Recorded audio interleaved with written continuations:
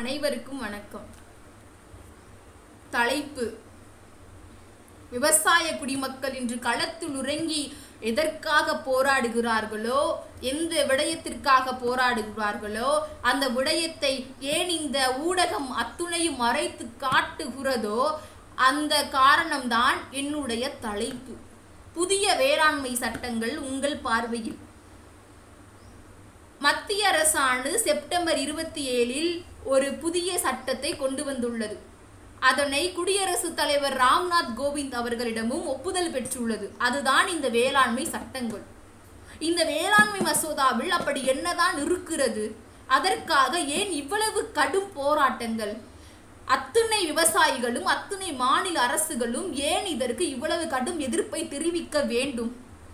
அவை மட்டுமல்லாமல் எந்த போராட்டத்திலும் தனியார் நிறுவனங்களும் அல்லது கார்ப்பரேட் நிறுவனத்தை சேர்ந்த எந்த ஒரு ஊழியரும் ஏன் ஒரு சிறுவித எதிர்ப்பையும் தெரிவித்து செய்திகளை வெளியிடவில்லை என்ற பலதரப்பட்ட கேள்விகளுடன் என்னுடைய பேச்சை தொடங்குகின்றேன். முதலாவதாக பார்த்தோமேயானால் இந்த மத்திய அரசானது வேளாண்மை சட்டங்களாக மூன்று சட்டங்களை கொண்டு வந்துள்ளது.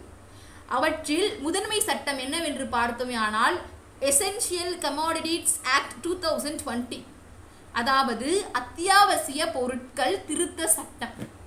இந்த அத்தியாவசிய பொருட்கள் திருத்த சட்டம் என்பது நம்முடைய தமிழகத்தில் மட்டுமல்லாது அத்துணை மாநிலங்களிலும் அந்தந்த விவசாயிகள் அவன் நிலத்தில் விதைக்கப்பட்ட விளைபொருளை தானே விலை நிர்ணயம் செய்து அவனுடைய சொந்த உரிமையில் சொந்த தரப்பில் சொந்த முறையில் பாதுகாப்பு செய்து ஏற்றுமதி செய்து கொள்ளலாம் என்கின்ற ஒரு முறைமையை கொண்டு வருகிறது. இது நாள் வரை நம்முடைய விவசாயிகளினுடைய அத்துணை பொருட்களுக்கும் காப்புரிமை கொடுத்து விலை ஏற்றத்தின் இறக்கத்தினை வைத்து அதனை வெளிநாடுகளில் ஏற்றுமதி செய்து அதற்கான உரிமையையும் பணவரவையும் விவசாயிகளுக்கு பெற்றுக் கொடுத்த அரசானது தற்சமயம் விலகி நிற்கிறது. இதனால் குளிர்பதனிடும் முறைகளினான அந்த கட்டமைப்பு பணத்தையும் நாம் சேமிக்கலாம் என்கின்ற ஒரு எண்ணங்கள் இருந்தாலும் அதற்கான ஒப்புரிமையை நாங்கள் விவசாயிகளுக்கு கொடுக்கிறோம் என்று ஒரு முறை ஒரு பக்கம் அரசானது கூறியுள்ளது. தான் விளைவித்த பொருட்களை தன்னால் விளைவிக்கப்பட்ட பொருட்களை அரசின் அந்த ஒழுங்குமுறை கூடத்திற்கு வெளியே நின்று கூட அவர்கள் ஏற்றுமதி செய்யலாம். அவை மட்டுமல்லாமல் அதற்கான பண வர்த்தக முறைமைகளை விவசாயிகளே கையாண்டு கொள்ளலாம் என்கின்ற ஒரு சட்டத்தை கொண்டு வந்துள்ளது. அதுதான் இந்த அத்தியாவசிய பொருட்கள் திருத்த சட்டம்.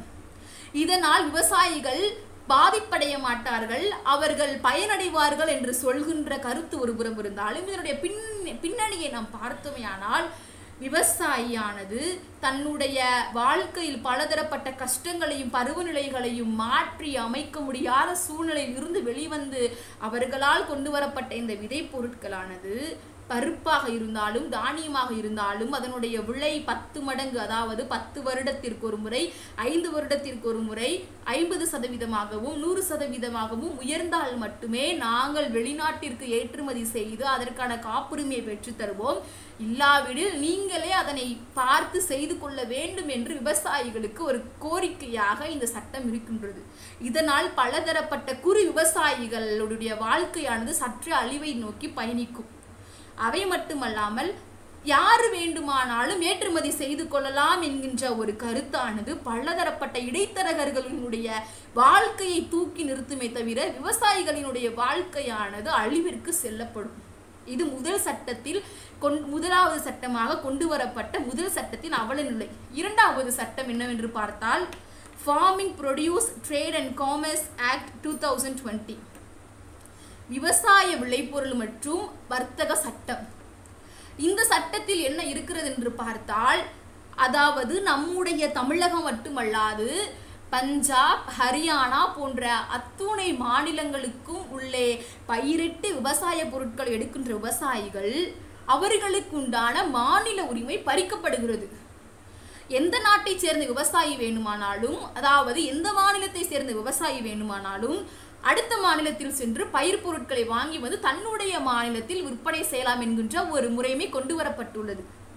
இவை இதனால் ஏற்படுகின்ற பாதிப்பு என்னவென்று பார்த்தால் ஒரு பொருளானது ஒரு நா தமிழகத்தில் மட்டுமல்லாது எந்த மாவட்ட எந்த மாநிலமாக இருந்தாலும் அங்கு ஒரு பொருள் பிரபலப்படுத்தப்பட்டு மக்களுக்கு பயன்படுத்தப்படுகிறது என்று சொன்னால் அவர்களுடைய அத்தியாவசிய தேவையான அந்த பொருள் தட்டுப்பாட்டிற்கு உள்ளாகும்.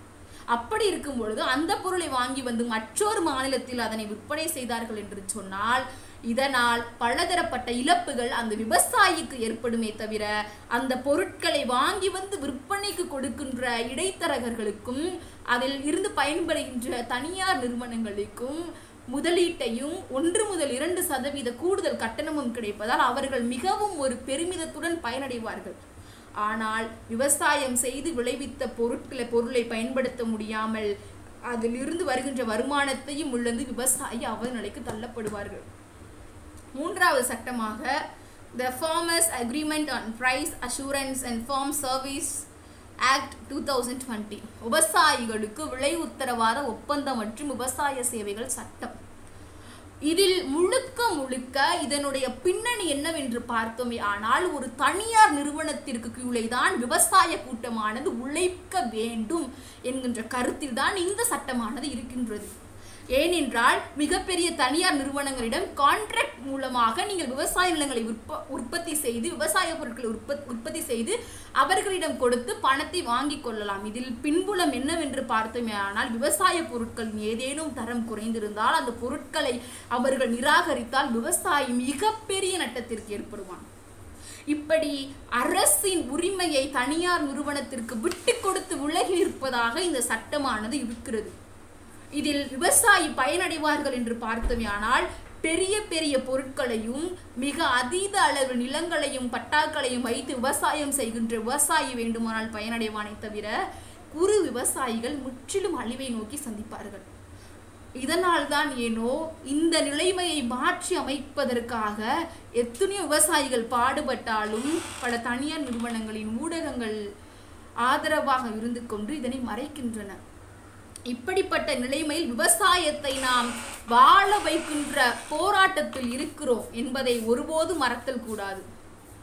எந்த விவசாயம் நம்முடைய மாநில அரசின் காப்புரிமையிலும் தமிழக அரசின் ஒழுங்கு கூட கிடங்குகளிலும் இருந்து முளைத்து வேறுண்டுகிறதோ இது த முழுக்க முழுக்க தற்போது கார்ப்பரேட் நிறுவனத்திடம் கொடுக்கப்படுவது போல் உள்ளது. இப்படி பலதரப்பட்ட பின்புலத்தை ஆராய்ந்து பார்த்துமையானால் விவசாயி தான் விளைவித்த அத்துணை பொருட்களையும் பாதி விலைக்கு கூட விற்க இயலாமல் அதனை அதீத அடிமட்ட விலைக்கு அவன் விற்க நேர்கிறான். தமிழ்நாடு அரசு ஆயிரத்தி தொள்ளாயிரத்தி எண்பத்தி ஏழாம் ஆண்டு தமிழ்நாடு வேளாண் விளைபொருள் விற்பனை கிடங்கு விற்பனை கிடங்கின் மூலம் கொண்டு வந்து அவற்றை ஒழுங்குமுறைப்படுத்தி இரநூத்தி அறுபத்தெட்டு ஒழுங்குமுறை கிடங்குகளையும் கிராமத்தில் நூத்தி எட்டு கிராம சேமிப்பு கிடங்குகளையும் கொண்டு வந்துள்ளது. முற்றிலும் இந்த கிடங்குகளுக்கு வேலையின்மை அளிக்கப்பட்டு அவை சற்றே ஒதுக்கி வைக்கப்படும். கிடங்கன் வெளியே இருந்து அவனுடைய வயல் புறத்திலிருந்து கூட அவன் அந்த பொருட்களை யாருக்கு வேண்டுமானாலும் விற்கலாம் என்று நிலை வந்தால் தனியார் நிறுவனங்களுக்கு அடிமட்ட அடிமட்ட விலைக்கும் அந்த பொருட்களை கேர் கேட்கலாம் என்கின்ற எண்ணம் வந்தால் அவன் பிழைப்பான் விவசாயி தன்னுடைய உழைப்பை கொடுத்து இழக்கப்படுவான். இந்த நிலை மாறுவதற்காகத்தான் இந்த விவசாய சட்டத்தை இந்த மசோதா சட்டத்தை முற்றிலும் எதிர்க்கிறோம். இதில் என்னுடைய பார்வை என்னவென்று கேட்டால் முழுக்க முழுக்க அரசு தன்னுடைய உரிமையை தனியார் நிறுவனத்திற்கு விட்டு கொடுத்து விலகி நிற்கிறது என்பதுதான் என்னுடைய பார்வை. விவசாயிகள் விவசாயிகளுக்கு பலதரப்பட்ட நிதி உதவிகள் வழங்கினாலும் அவை அனைத்தும் விவசாயிகளுக்கு போய் சேருகிறதா என்பது இன்றும் ஐயப்பட்ட ஒரு வினாதான். அப்படி இருக்கும் பொழுது இந்த சட்டத்தின் மூலம் விவசாயி ஒருபோதும் பயனடைய மாட்டான் என்கின்ற ஒரு வாக்கு இருந்தாலும் அதில் மிகப்பெரிய பிரம்மாண்டமான இல்லங்களை வைத்துள்ள பண படைத்த விவசாயிகள் வேண்டுமானால் பயனடையலாம் தவிர குறு விவசாயிகள் குறு விவசாயிகள் சிறிது சிறிதாக அழிவை நோக்கி நகரப்படுவார்கள். இது இதில் உள்ள அர்த்தங்களை மிகவும் புரிந்து கொள்ள வேண்டியது என்னவென்று கேட்டால் உங்களுடைய பார்வையெல்லாம் விவசாயிகளினுடைய நற்பயிர்களையும் அந்த தோட்டப்பயிர்களையும் அதனை சேமித்து அவர்களை நேரடியாக விற்கலாம். அவர்கள் கையிலேயே அவர்களுக்கான உரிமை கொடுக்கப்படுகிறது என்பது என்றால் அதை சற்று நகர்த்தி பாருங்கள்.